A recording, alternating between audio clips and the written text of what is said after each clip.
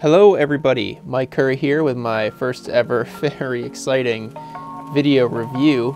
Uh, today we're going to be looking at the MB23 matte box by Camtree.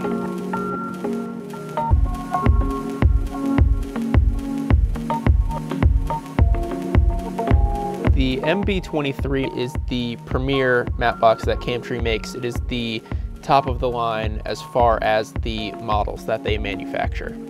I just want to say the quality of this thing is very tight. Uh, anything that is not carbon fiber is very solid metal. Nothing's going to be wiggling on you. Nothing's going to feel loose or cheap.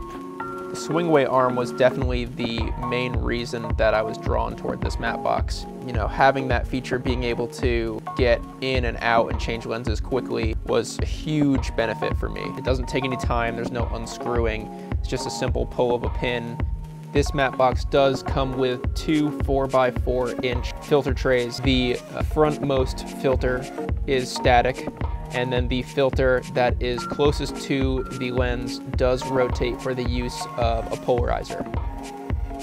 This matte box also does feature a removable donut with drawstring tightening.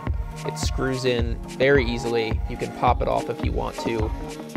Also included are two adjustable side barn doors and one top French flag. These side doors are adjustable up and down uh, and lock very nicely.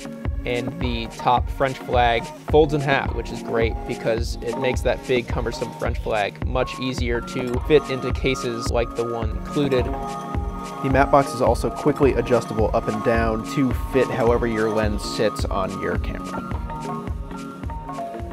Overall, this matte box, I've been very happy with it. It is a phenomenally good deal for the price. Anyways, thank you guys for watching.